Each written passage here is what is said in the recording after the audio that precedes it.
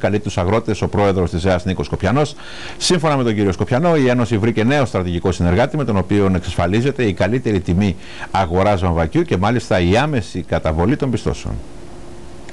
Τη στήριξη των βαβακοκαλλιεργητών και την εμπιστοσύνη τους στη Νέα Ροδόπη ζήτησαν μέσα από δελτίο τύπου που εξέδωσαν τα μέλη του Διοικητικού Συμβουλίου της Ένωσης.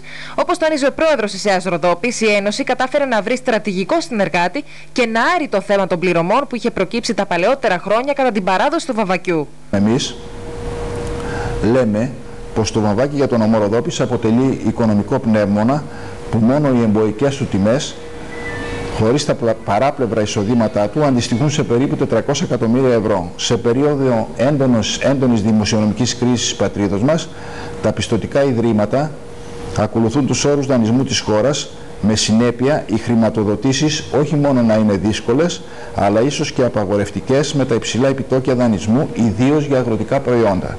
Σε αυτό το περιβάλλον, εμείς σαν Διοικητικό Συμβούλιο της ΕΑΣ Νομοροδόπης επιλέξαμε την έβρεση ενός στρατηγικού συνεργάτη που θα μας εξασφαλίζει την παρουσία μας σε ρόλο οδηγού στην αγορά, στην διαμόρφωση των τιμών, αλλά προπάντων την άρση της κύριας δυσκολίας που είχαμε τα τελευταία χρόνια, της σίγουρης μεν, αλλά αργοπορημένης πληρωμής. Αυτή τη δυσκολία των προηγουμένων ετών φέτος την διασφαλίζουμε με την έγκαιρη και άμεση πληρωμή και ίσως αυτό φέτος να είναι το συγκριτικό μας πλεονέκτημα έναντι των υπολείπων ανταγωνιστών.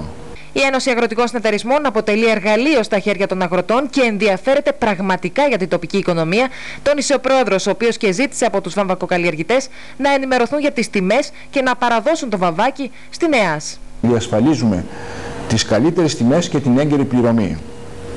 Τέλος, επειδή η ΕΑΣ Νομουροδόπη δεν είναι μόνο οικονομική επιχείρηση αλλά και παράγοντας διασφάλισης στήριξης του εισοδήματος και το συμφερόντο του αγρότη, θα ήθελα να τονίσω την ιδιαίτερη προσοχή του καθενός για την επιλογή του στη παράδοση του μόχθου του.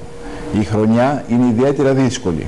Τα μεγάλα λόγια δυστυχώς περισσεύουν και το μόχθο του ο καθένας μας οφείλει και να το σκέφτεται και να το πονάει περισσότερο προκειμένου τα επακόλουθα να μην είναι δραματικά.